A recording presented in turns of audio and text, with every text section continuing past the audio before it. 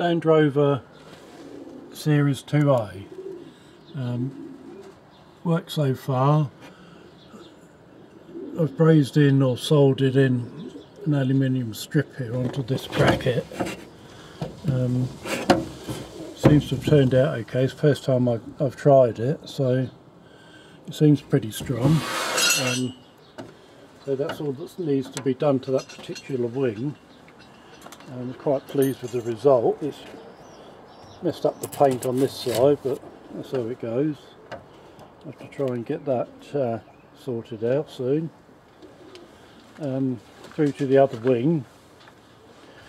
This is a bit more of a state. It's it was rattling about and it sort of rattled these holes to an enormous size and a little bit with a bit of corrosion.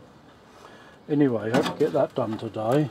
If we got down in here, this bracket is broken, so that's why it's vibrating so much. Anyway, I've got to get that done.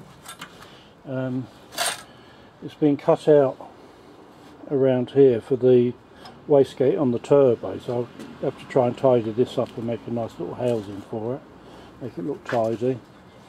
This this this um, door pillars in. door swing is quite well, there's a nice gap down each side and the footwell is repaired so I'm quite pleased with all that.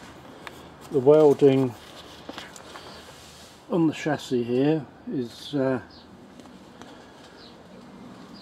is done, quite pleased with that again. Just got a little bit more grinding down to do, tidying up to make it look uh, look reasonably smart the door's gone in. At some point this um, bulkhead had been worked on and I didn't notice that they had whoever done it had narrowed it here. So you can see the difference. I should really take that out and, and redo it but uh, it's a bit late now. I'll have to stay as it is. The door swings quite well. It shuts well and there's lines up well here.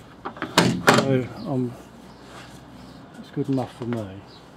Um, so, so, I've taken this tub out because all the rivets have gone on it. They pulled out. I'll show you that shortly. And I put in new gearbox cross member. A bit difficult to see down there. A new gearbox mounts. Um, and the the back plates are on on the brakes both sides wheel spacers.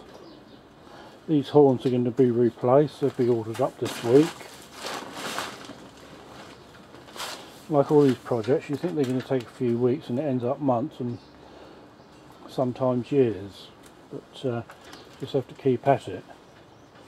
Um, here's the turbo this this pipe was rubbing on the on the wing and I think it's perished well not perished, it's just worn through and it's sucking in air. So I have to get that sorted out and check out the turbo. More welding to do round here, the door pillar is sort of in position. Uh, this is the exhaust that I made up. Um, comes out just in front of the back wheel. I think it's off of uh, an old Defender, this uh, this exhaust, so it'd be interesting to see what it sounds like. It's a bit bigger bore than I think the standard one. Uh, welding on this side, this is all solid this side, it's okay, but except for there, that outrigger, I can soon put a bit in there. Um, so I've taken this tub out, so all, all the uh, the rivets are pulled out so I'm going to replace all of them. I found dials in the in my shed so I've put them in. Don't know why really but might as well make use of them rather than sitting in the shed. Um, so progress is slow but it is progress. Um, like everything you can't spend as much time as you'd like.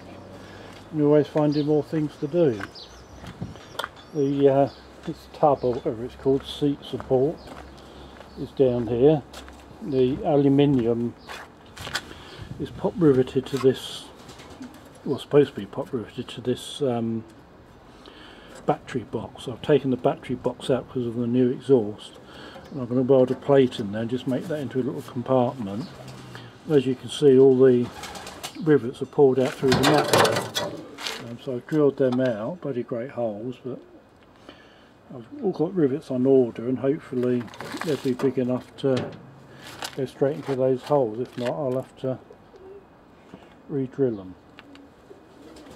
Well, that's about it for today.